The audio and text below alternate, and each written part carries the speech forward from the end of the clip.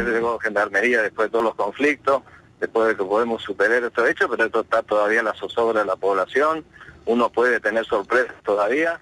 Llegó la Gendarmería este, ayer y recién me comunica el ministro de Gobierno de Seguridad del Chaco que ordenaron el retiro de la Gendarmería de la provincia del Chaco. Pero- Eso es una gravedad institucional que no lo vamos a, a tolerar. Eh, gobernador, pero ¿a usted le han explicado el motivo por el que van a retirar Nadie me llamó, me gendarmería? informa el ministro de Gobierno del Chaco. ¿Esos eran los, los gendarmes que habían llegado desde Que Corrientes? llegaron ayer, que llegaron, no, no, los que mandaron ayer de, a nivel nacional. La segunda tanda.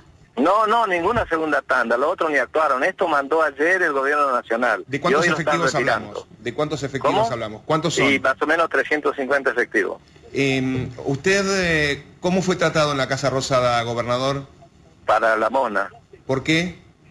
Bueno, ya expliqué, pero ¿sabe lo grave acá? Me están retirando la, la gendarmería en una provincia que todavía, si bien evidentemente ellos dijeron que acatan la institucionalidad, además se tienen que quedar el tiempo necesario para asegurar la vida de nuestros habitantes. ¿Cómo van a ir ayer y hoy me están retirando la gendarmería nuevamente? Esto está confirmado, un ministro suyo se lo Me acaba de decir. comunicó el ministro Berbeck, que es ministro de Gobierno, Justicia y Seguridad de la provincia del Chaco, recién. Sí, una cuestión está atada a la otra, gobernador. Eh, usted dice que lo trataron mal en la Casa de Gobierno. ¿Nos lo podía Pero yo explicar? la conté ese incidente, ustedes lo saben. Así que eh, hoy eso no tiene importancia. Lo que tiene importancia acá, que, que me retiran la medida en una situación que todavía está, que puede surgir cualquier cosa y yo necesito la fuerza de seguridad de la provincia porque ese- esto se trata de un conflicto con gente que, que, que, que realmente hicieron actos de sedición y que tienen las armas dado- dadas por el pueblo para, ¿La cobrar- policía está para en proteger a los funciones? civiles. ¿La policía está en funciones? La Está policía. en funciones, por supuesto, porque la oficialidad a nosotros nos respondió, esto eran, esto eran cosas de los suboficiales.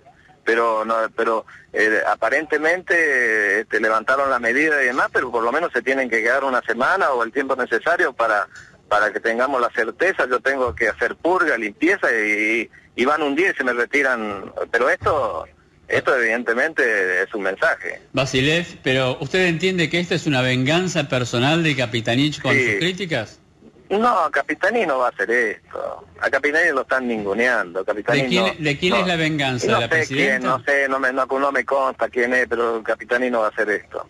Pero entonces, ¿quién un hombre con mucha sensibilidad, es un hombre con mucha sensibilidad, un hombre que, que, que se sacrificó por su pueblo, transformó el Chaco, o sea que, que él está preso de, una interna y de, y de un estilo que, que bueno que no es de él. Basilev, pero ¿quién toma la decisión entonces de retirar gendarmería? No sé, no tengo ni idea. De acá hay un responsable que es el jefe de Gendarmería Nacional. Hay que preguntarle a él quién le dio la orden de que se haga eso con el Chaco. ¿Usted está volviendo al Chaco ahora? Sí, ya, ya me estoy viendo. ¿Qué medidas está tomando teniendo en cuenta que, eh, por lo Y pronto... nada, por ahora está todo pacífico, estamos con la fuerza de seguridad reforzando todos los lugares, pero recién me comunican esto, que se está retirando la gendarmería, no puede ser, llegaron Eh, ayer y se está retirando. Eh, Porque en la sociedad, en la sociedad todavía eso sobra, todavía hay este desesperanza, entonces por lo menos tienen que quedarse una semana para darle tranquilidad a la sociedad.